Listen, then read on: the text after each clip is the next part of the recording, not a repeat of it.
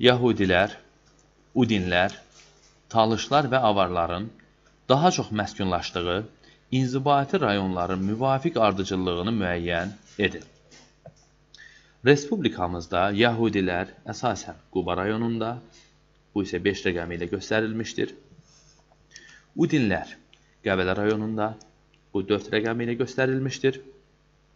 Talışlar əsasən Lənkəran-Astara bölgəsində, Lənkəran 3 rəqəmi ilə göstərilmişdir.